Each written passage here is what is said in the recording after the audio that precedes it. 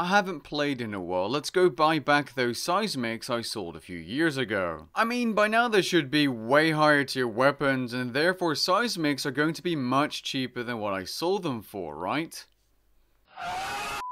Whether you've come back from a long break, been scammed or sold all your RSGP to your high school friend, in this video I shall teach you how to rebuild your bank, or in other words, so whenever you're ready, grab your cup of tea, sit back, relax, and enjoy. Let's kick it off with the noob money making methods. You see this monkey? Yes, that's you. We're going to be picking bananas with a basket in Karamja to feed our inner banana addiction, which apparently not many players on RuneScape share because these things do not sell at all. On a more serious note, we're going to be collecting something for money making that is not vegan. At least I think so. According to veganfriendly.org.uk, some bananas are indeed not suitable for vegans. We're going to be annihilating Gielinor's entire chicken population instead, because chicken is actually a valuable commodity in this game, and by far one of the easiest moneymakers in this game to get started or to rebuild. You literally whack these chickens like they're flies, pick up the chicken meat and feathers, bank, repeat, and make over 1 million GP per hour. That is, until the chicks discover modern weapons to fight back and avenge their parents. If being part of the food industry isn't entirely your thing, you can also turn to merchants, aka shops in RuneScape selling runes instead. You buy out their rune stock and sell those on the Grand Exchange for big profits. Just be sure that you're buying the runes at a profit as prices can change over time. You can also return to the food supply chain yet again by buying meat from meat shops in RuneScape and selling that on the Grand Exchange too. Both of these types of shop runs only require a tiny amount of upfront money for big returns on investment at least when you're starting out or returning to the game. Now maybe you're not a businessman at all, maybe you want to do something a little more peaceful and you have steady hands. As you see now, you can hold this for a second please. There's a good chance you might enjoy making some starting cash from the archaeology skill which has a few moneymakers, one of which I'll cover at a high level section in this video. Now while you can farm logs for Chronote, you'll likely be making more money by disassembling tier 1 artifacts for components. More specifically classic and historic components as they'll be the most profitable for your account. You basically craft them into a component crate with invention, requiring level 20 invention, and then sell them on the Grand Exchange. Easy. There is one problem though, and that's that this method requires level 20 invention, which new accounts obviously will not have access to. This method will net you only 700k GP per hour with all costs taken into account at the low end and maybe 2 to 3.5 million GP at the higher levels. Is that good? Probably not, but it's worth mentioning as it's pretty AFK and it might just be better money in the future. The next method is creating divine locations, which can be a profit or a loss, but generally are a good idea to do anyway for the same amount of experience they provide in a short amount of time every single day. If you use the wiki link in the description below, you'll be able to see how much money each location or how much experience each location gives you and what level it requires. Be cautious though as sometimes the Grand Exchange prices aren't accurate and you'll be making more or less money per divine location. Now I know this is the noob section, but if you are a high level player watching this video and you have Elf City unlocked and level 95 Dungeoneering, you can get free divine locations of any type, you just have to hop world until you find the one you want or need, in the Gorajo resource dungeon. Another great way of making money if you just came back to the game is claiming your quest caravan magical dice if you haven't already.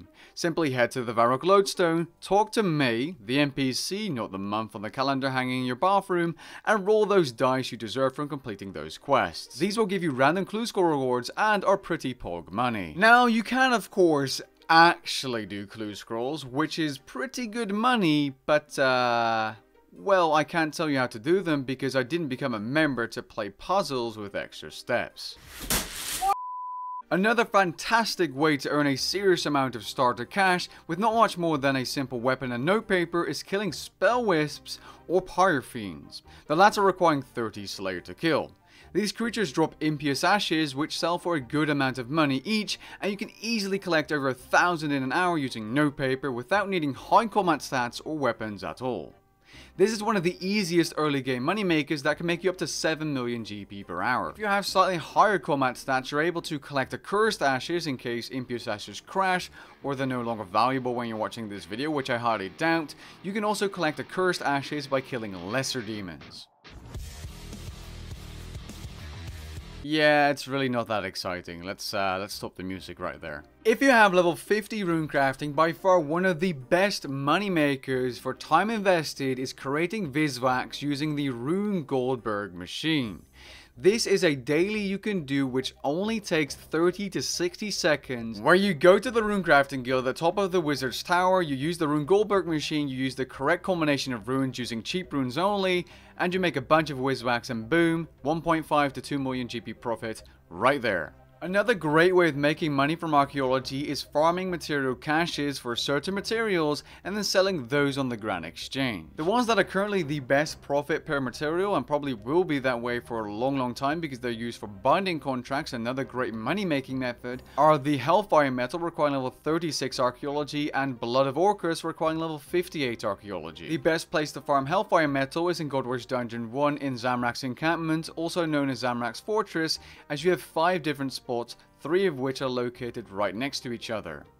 Blood of Orcus is best farmed at the top of the Slayer Tower in Canifis. It's worth noting that Jagex didn't learn anything from the amazing mining and smithing rework and decided that material caches should be competitive just like ores used to be pre-mining rework. This means the amount of materials you gain per hour can be severely impacted by the amount of players doing this method because other players can quite literally crash you and, well, I wouldn't call it stealing, but share your spot with you. Now, as long as you don't encounter anyone at Hellfire Metal, with that world hopping, you'll be able to get near 700 materials per hour.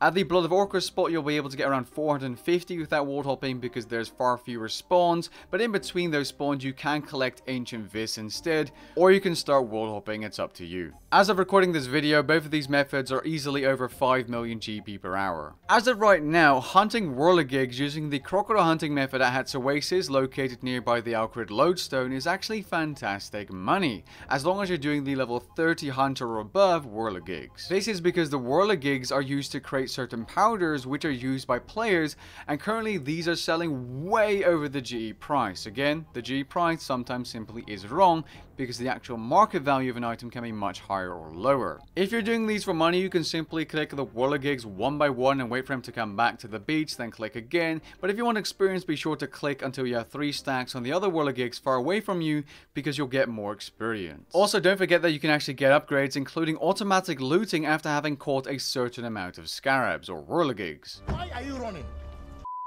If you ever thought about training runecrafting, now is a fantastic time to be making money with the runecrafting skill or training the skill in general as runes have gone up due to new spells and new weapons like the Fractured Staff of Armadyl.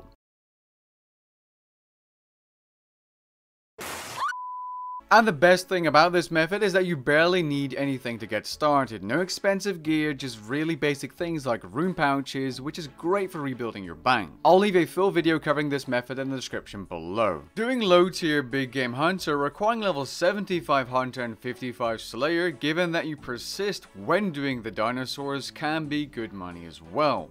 The only issue with this method is that if you do not persist, the amount of money you make seriously drops. The same can be said if you don't have have the upgraded Hunter Lodge and Bait Box as they make killing these dinosaurs far more efficient. The majority of your money will be made from the rare drops including the unchecked player and farm animal drops which are 1 in 65 and the Dragon Mattock which is a 1 in 101 rare drop. The reason I'm mentioning big game hunters is because it can be a fun training method or money making method especially if you like eradicating dinosaurs that should already be extinct. Where animals live and thrive and they worked, there's an endangered species right there. Ah, and so we have arrived at the high level methods. Well, to be entirely honest, you could literally do anything for money at this point, and the amount of methods, given that you have base 90 stats and most of the quests done in this game, are endless. The question is, what do you want to be doing, and do you care if you only make 5 more an hour AFK and 10 more an hour actively? You could do a bunch of things. For example, AFK farming Elder Turtles tier 3 isn't really good money, but it's AFK. Doing agility at Anachronia is boring, but you can make a bunch of money if you end up making a double surge codex which takes like 7 or 8 hours. And, you know, moneymakers come and go, but the one thing that will always be worth doing is buying bonds. Thank you for watching. But seriously, the main way of making money and actually growing your bank is by far PVM. PVM simply is the best, and there's no question about it. Although some bosses are far better than others. If you're new to bossing, maybe start and focus on learning Nex and Araxxor, as these are two great money makers and very enjoyable bosses as well. If you're a little bit more experienced, you could go ahead and try some of the Elite Dungeons, but more specifically Elite Dungeon 1 because it's by far the best for money making consistently and it's just going to be far more rewarding to learn than something like Elite Dungeon 3, where you could go dry on ECB pieces, and it just doesn't feel very nice. TzKal-Zuk is another great pick, being 10 mil GP per kill in normal mode, and 40 million GP per kill on average in hard mode, although that's very challenging. It's something I haven't done myself yet, but I have done normal mode, and normal mode is really good money if you stick to it as well. And of course, Croesus is another great pick from God Wars Dungeon 3. This is a skilling boss. I don't think it has a very high barrier to entry. It's quite simple to learn, and on average it's 2 million GP per kill. The only thing that can be hard is finding a group of 3 other players that want to do the boss with you. Now let's say you've come back into the game, you do have high level stats, you have maybe your overloads left from 4 years ago, 5 years ago, but you don't have any money for gear. Well, in that case, you're going to need to buy some cheap gear. There's definitely some cheap gear on the Grand Exchange. And then do something like God Wars Dungeon 2, you know, Vindicta, Helwyr. Uh, maybe do some Slayer tasks, because Slayer can be good money if you focus on the right tasks. For example, Moss Golems. If that isn't your thing, you could focus on farming binding contracts, a video which I'll leave a link to in the description below if you want more context. Doesn't have high requirements, just level 68 archaeology and the Dagon by Mystery. You could use the player-owned farm to get a certain breeding pair to farm them for money. For example, Rexes requiring level 106 farming and above. You simply grab a breeding pair, either by buying it from players or from the gun Exchange put them in the breeding pen, grow them, put the eggs in another pen, grow them, gather the produce, sell them for beans, and simply repeat without needing to buy new Rexes because you're breeding them yourself. You can do the same with the yaks, although the female yaks are the only ones that give you yak milk. You can sell this, this is used for super rune crafting potions I believe, and it's just really good passive money. You just need a breeding pair, keep them healthy, keep them breeding, and then, you know, basically put the babies in another pen, grow them, the females that is, gather the produce, sell them for beans, and repeat. With that being said, we've come to the end of this video. I hope this video gave you some ideas on how to start rebuilding your bank in three very different tiers, and if it did, be sure to drop a like down below and perhaps consider subscribing. Thank you to the channel members for supporting the channel, and if you too would like to support the channel, you can do so by clicking the join button down below. Catch you guys in the next one. Peace.